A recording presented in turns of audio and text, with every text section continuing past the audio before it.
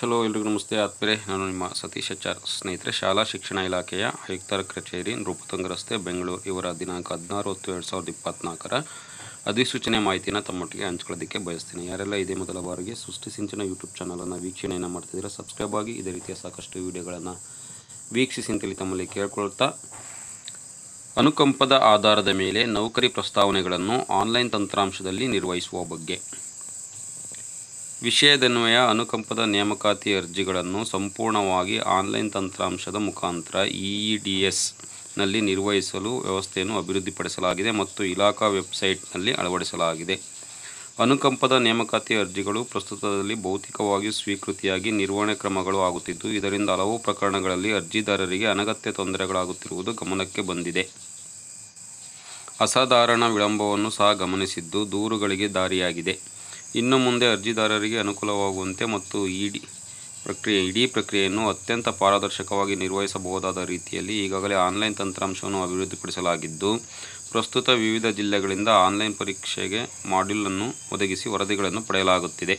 ವರದಿಗಳ ಆಧಾರದಲ್ಲಿ ತಂತ್ರಾಂಶವು ಅತ್ಯಂತ ಸಮರ್ಥವಾಗಿ ಮತ್ತು ಸುಲಭ ವ್ಯವಹಾರಣೆಗೆ ಸೂಕ್ತವಾಗಿ ಇರುತ್ತದೆ. ಇನ್ನು ಮುಂದೆ ಎಲ್ಲ ಅನುಕಂಪದ ನೇಮಕಾತಿ ಅರ್ಜಿಗಳನ್ನು ಆನ್ಲೈನ್ ವ್ಯವಸ್ಥೆಯಲ್ಲಿಯೇ ಸ್ವೀಕರಿಸಲು ಮತ್ತು ಆಯಾ ಕಚೇರಿ ಹಂತಗಳಲ್ಲಿ ಮತ್ತು ಮೇಲು ಕಚೇರಿಗಳಿಗೆ ಅರ್ಜಿಗಳನ್ನು ಮುಂದಿನ ಕ್ರಮಕ್ಕಾಗಿ ಆನ್ಲೈನ್ನಲ್ಲಿಯೇ ಸಲ್ಲಿಸಲು ವ್ಯವಸ್ಥೆಗೊಳಿಸಲಾಗಿದೆ.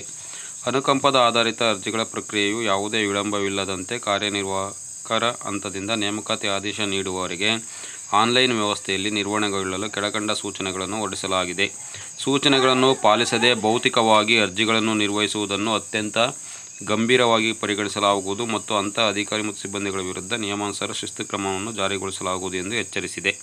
ಸೂಚನೆಗಳು ಮತ್ತು ವೇಳಾಪಟ್ಟಿ. ದಿನಾಂಕ ಹದಿನೆಂಟು, ಹನ್ನೊಂದು, ಎರಡು ಸಾವಿರದ ಇಪ್ಪತ್ತ್ನಾಲ್ಕರಿಂದ ಎಲ್ಲ ಅನುಕಂಪದ ಆಧಾರಿತ ನೇಮಕಾತಿ ಕೋರಿಕೆ ಅರ್ಜಿಗಳನ್ನು ಕಡ್ಡಾಯವಾಗಿ ಆನ್ಲೈನ್ ವ್ಯವಸ್ಥೆಯಲ್ಲಿಯೇ ಸ್ವೀಕರಿಸತಕ್ಕದ್ದು ಮತ್ತು ನಿರ್ವಹಿಸತಕ್ಕದ್ದು. ಆದರೆ, ದಿನಾಂಕ ಹದಿನೆಂಟು ಹತ್ತು ಎರಡು ಸಾವಿರದ ಇಪ್ಪತ್ನಾಲ್ಕರಿಂದ ಹದಿನಾರು, ಹನ್ನೊಂದು, ಎರಡು ಸಾವಿರದ ಇಪ್ಪತ್ನಾಲ್ಕರವರೆಗೆ ಸಮಾನಾಂತರವಾಗಿ ಭೌತಿಕವಾಗಿಯೂ ಅರ್ಜಿಗಳನ್ನು ಪಡೆದು ಆನ್ಲೈನಲ್ಲಿ ವ್ಯವಸ್ಥೆ ಮತ್ತು ಪದ್ಧತಿಗೆ ಪೂರ್ಣ ಹೊಂದಿಕೊಳ್ಳಲು ಸಮಯವನ್ನು ಕಲ್ಪಿಸಲಾಗಿದೆ. ಇದರಿಂದ ತಂತ್ರಾಂಶವನ್ನು ಬಳಸುವ ಅಧಿಕಾರಿ ಮತ್ತು ಸಿಬ್ಬಂದಿಗಳಿಗೆ ಹೊಸ ವ್ಯವಸ್ಥೆಗೆ ಒಗ್ಗಡಿಕೊಳ್ಳಲು ಮತ್ತು ಅರ್ಜಿದಾರರಿಗೂ ಸಹ ಸೂಕ್ತ ತಂತ್ರ, ತಾಂತ್ರಿಕ ಮಾರ್ಗದರ್ಶನ ನೀಡಲು ತರಬೇತಿಯನ್ನು ಪಡೆದುಕೊಳ್ಳಲು ಕಾಲಾವಕಾಶವನ್ನು ಕಲ್ಪಿಸಲಾಗಿದೆ. ದಿನಾಂಕ ಹತ್ತೊಂಬತ್ತು ಹನ್ನೊಂದು ಎರಡು ಸಾವಿರದ ಇಪ್ಪತ್ತಕ್ಕರಿಂದ ಮುಂದಕ್ಕೆ ಅರ್ಜಿ ಸ್ವೀಕಾರ ಮತ್ತು ಎಲ್ಲ ಪ್ರಾರಂಭಿಕ ಪ್ರಕ್ರಿಯೆಗಳಿಂದ ಅಖೈರ್ನವರೆಗೆ ಸಂಪೂರ್ಣವಾಗಿ ಆನ್ಲೈನ್ನಲ್ಲಿಯೇ ಕಡತ ನಿರ್ವಹಣೆಯಾಗತಕ್ಕದ್ದು.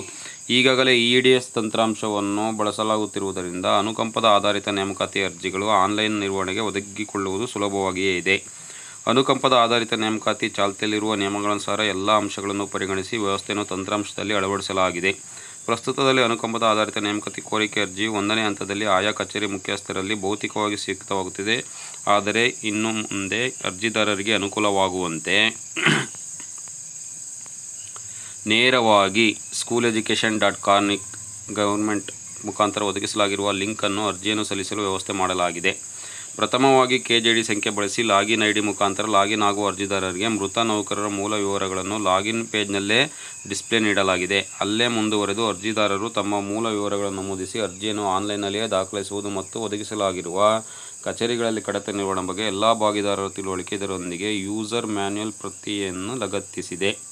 ಅನುಕಂಪ ಆಧಾರಿತ ನೇಮಕಾತಿಯು ಮಾನವೀಯ ನೆಲೆಯಲ್ಲಿ ಇಲಾಖೆಯ ಮೃತ ಸರ್ಕಾರಿ ನೌಕರರ ಕುಟುಂಬದವರಿಗೆ ಸರ್ಕಾರವು ಕಲ್ಪಿಸಿರುವ ಒಂದು ಅವಕಾಶ.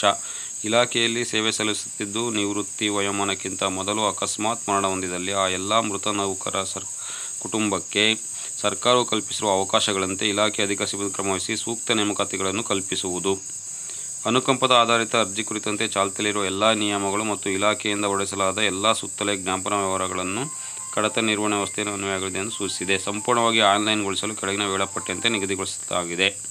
ಸೊ ಇಲ್ಲಿ ವೇಳಾಪಟ್ಟಿಯನ್ನು ನಾವು ಗಮನಿಸಬಹುದು. ಯಾವುದಾದ್ರು ಸರ್ಕಾರಿ ಅಧಿಕಾರಿ ನೌಕರರು ನಿವೃತ್ತಿ ವಯೋಮಾನಕ್ಕಿಂತ ಮೊದಲು ಅಕಸ್ಮಾತ್ ಸಂದರ್ಭದಲ್ಲಿ ಆಯಾ ಶಾಲಾ ಮುಖ್ಯಸ್ಥರು ಡಿ ಡಿ ಅವರು ಏನನ್ನು ಮಾಡಬೇಕು ಮತ್ತು ಶರವನ್ನು ನೀಡಲಾಗಿದೆ.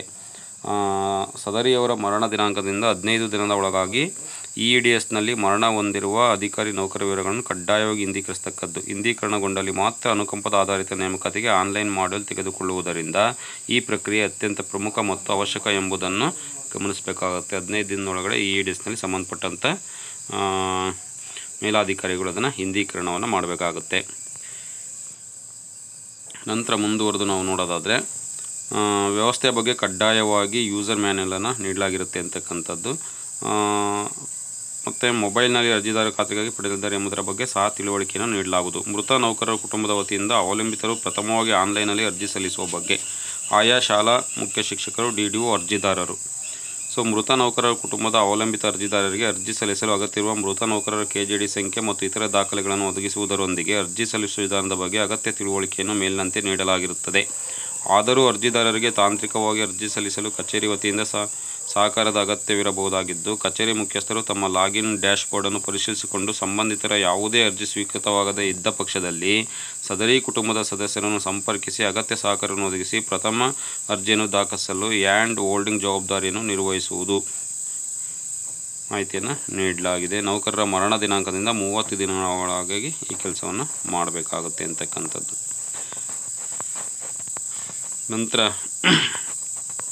ಮುಂದುವರೆದು ನಾವು ನೋಡ್ತಾ ಹೋಗೋದಾದರೆ, ನಮೂನೆ ಒಂದು ಮುಖ್ಯ ಅರ್ಜಿ ಸಲ್ಲಿಸುವ ಸಂದರ್ಭದಲ್ಲಿ, ನಂತರ ಅರ್ಜಿಯ ನಿರ್ವಹಣೆ ಇವೆಲ್ಲವೂ ಕೂಡ ಒಟ್ಟಾರೆಯಾಗಿ ಕನ್ಕ್ಲೂಷನ್ ನಾವು ನೋಡ್ತಾ ಹೋಗೋದಾದರೆ, ಅನುಕಂಪದ ಆಧಾರಿತ ನೇಮಕಾತಿ ಪ್ರಕ್ರಿಯೆಯು ಆನ್ಲೈನ್ ನಿರ್ವಹಣೆ ಅನುಷ್ಠಾನವನ್ನು ರಾಜ್ಯವ್ಯಾಪ್ತಿಯಾಗಿ ಎಲ್ಲ ಶೈಕ್ಷಣಿಕ ಜಿಲ್ಲೆಗಳಲ್ಲಿ ದಿನಾಂಕ ಹತ್ತೊಂಬತ್ತು ಹನ್ನೊಂದು, ಎರಡು ಸಾವಿರದ ಇಪ್ಪತ್ತ್ನಾಲ್ಕರಿಂದ ಜಾರಿಯಾಗಲಿದ್ದು ಪೂರ್ವಭಾವಿಯಾಗಿ ದಿನಾಂಕ ಹದಿನೆಂಟು ಹತ್ತು ಎರಡು ಸಾವಿರದ ಇಪ್ಪತ್ತ್ನಾಲ್ಕರಿಂದ ಶೈಕ್ಷಣಿಕ ವಿಭಾಗಕ್ಕೆ ಒಂದರಂತೆ ಆಯ್ದ ಜಿಲ್ಲೆಗಳಾದ ಬೆಂಗಳೂರು, ದಕ್ಷಿಣ ಜಿಲ್ಲೆ, ಮೈಸೂರು, ಧಾರವಾಡ ಮತ್ತು ಗುಲ್ಬರ್ಗ ಜಿಲ್ಲೆಗಳಲ್ಲಿ ಒಟ್ಟು ನಾಲ್ಕು ಜಿಲ್ಲೆಗಳಲ್ಲಿ live testing, real mode testing, online ಮತ್ತು ಭೌತಿಕ ಎರಡೂ ವಿಧಾನಗಳ ಸಮಾನಾಂತರ ಪ್ರಕ್ರಿಯೆಗಳು ಜರುಗಲಿದ್ದು, ಇತರೆ ಜಿಲ್ಲೆಗಳು ಸಹ ಈ ದ್ವೈ ಮಾದರಿ ಡ್ಯುಯಲ್ ಮಾಡಲ್ ವ್ಯವಸ್ಥೆಯ ಪ್ರಕ್ರಿಯೆಯನ್ನು ನಿರ್ವಹಣೆಗೆ ತೊಡಗಬಹುದಾಗಿದೆ. ಆದರೆ, ದಿನಾಂಕ ಹತ್ತೊಂಬತ್ತು ಹನ್ನೊಂದು ಎರಡು ಸಾವಿರದ ಇಪ್ಪತ್ತ್ನಾಲ್ಕರಿಂದ ಪೂರ್ಣವಾಗಿ ಎಲ್ಲ ಜಿಲ್ಲೆಗಳಲ್ಲಿ ಆನ್ಲೈನ್ ಮಾದರಿಯಲ್ಲಿ ಮಾತ್ರ ಅರ್ಜಿ ಸ್ವೀಕಾರ ಮತ್ತು ಕಡತ ನಿರ್ವಹಣೆ ಕ್ರಮ ವಹಿಸಲು ಅಧಿಸೂಚಿಸಿದೆ. ಯಾವುದೇ ಪರ್ಯಾಯವಿರುವುದಿಲ್ಲ ಮತ್ತು ಕಡ್ಡಾಯವಾಗಿ ಸೂಚನೆಗಳನ್ನು ಪಾಲಿಸಿ ಅತ್ಯಂತ ಪಾರದರ್ಶಕವಾಗಿರುವಂತೆ ಆನ್ಲೈನ್ ವ್ಯವಸ್ಥೆಯನ್ನು ಅಳವಡಿಸಿಕೊಳ್ಳಲು ಎಲ್ಲ ಕಚೇರಿಗಳಿಗೆ ಸೂಚಿಸಲಾಗಿದೆ ಅಂತಕ್ಕಂಥದ್ದು. ಒಟ್ಟಾರೆಗೆ ಇನ್ನ ಮೇಲೆ ಶಾಲಾ ಶಿಕ್ಷಣ ಇಲಾಖೆಯಿಂದ ಅನುಕಂಪ ಆಧಾರಿತ ಹುದ್ದೆಗೆ ಅಥವಾ ಆ ಒಂದು ಇದಕ್ಕೆ ಅರ್ಜಿಯನ್ನು ಸಲ್ಲಿಸ್ತಕ್ಕಂಥ ಸಂದರ್ಭದಲ್ಲಿ ಕಡ್ಡಾಯವಾಗಿ ಆನ್ಲೈನ್ ಮುಖಾಂತರನೇ ಅರ್ಜಿಯನ್ನು ಸಲ್ಲಿಸಬೇಕಾಗುತ್ತೆ ಅಂತಕ್ಕಂಥದ್ದು. ಇದು ಪ್ರಥಮ ಹಂತವಾಗಿರೋದ್ರಿಂದ ಎಲ್ಲರಿಗೂ ಕೂಡ ಹೊಸದಾಗಿರುತ್ತೆ. ಕಾಲಕ್ರಮೇಣ ಇದರ ಮಾಹಿತಿ ಸಂಪೂರ್ಣ ಸಂಬಂಧಪಟ್ಟಂಥ ಶಾಲಾ ಶಿಕ್ಷಣ ಇಲಾಖೆಯ ಕ್ಷೇತ್ರ ಶಿಕ್ಷಣಾಧಿಕಾರಿಗಳ ಕಚೇರಿಗಳಲ್ಲಿ ಮತ್ತು ಸಂಬಂಧಪಟ್ಟಂಥ ಶಾಲಾ ಮುಖ್ಯೋಪಾಧ್ಯಾಯರಲ್ಲಿ ಮಾಹಿತಿ ಲಭ್ಯ ಆಗುತ್ತೆ ಅಂತಕ್ಕಂಥ ಒಂದು ಮಾಹಿತಿನ ಮಟ್ಟಿಗೆ ಹಂಚ್ಕೊಳ್ತಾ ವಿಡಿಯೋನ ವೀಕ್ಷಣೆಯನ್ನು ಮಾಡೋದಕ್ಕಾಗಿ ಧನ್ಯವಾದಗಳು ತಿಳಿಸ್ತೀನಿ. ನಮಸ್ತೆ.